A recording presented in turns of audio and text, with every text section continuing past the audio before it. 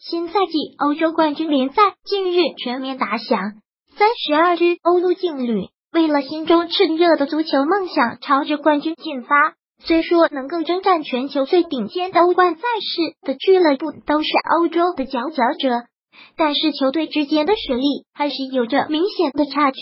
而这种差距从整个球队的身价情况可以明显地被反映出来。每个俱乐部的财力有强弱之分。球队的身价也有着天差地别。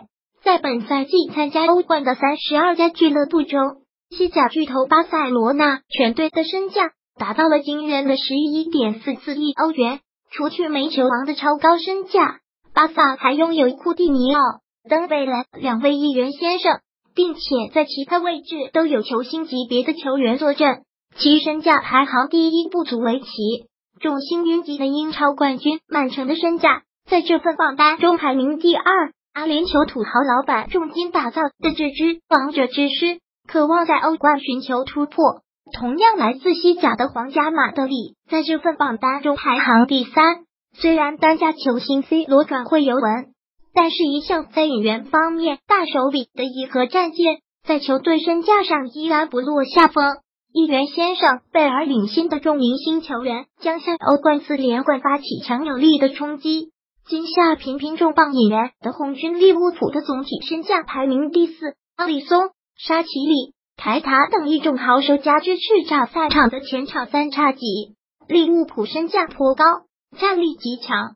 他们渴望弥补上赛季的遗憾。曼联、热刺、拜仁分列五、六、七位，尤文图斯凭借 C 罗的强势加盟，身价攀升到第十。令人感到比较意外的是，法甲豪门巴黎圣日耳曼的身价仅仅排名第八。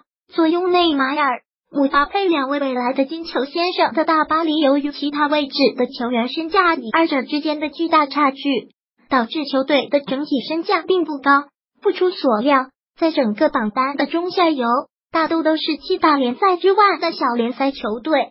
不过，像比尔森胜利、博尔尼年轻人等小球队。他们虽然身价较低，但是他们凭借自身的努力，一步步通过附加赛打进欧冠正赛，实属巨大的成功，值得人们尊敬。身价低的他们或许能在欧冠赛场成为搅局者。欢迎关注。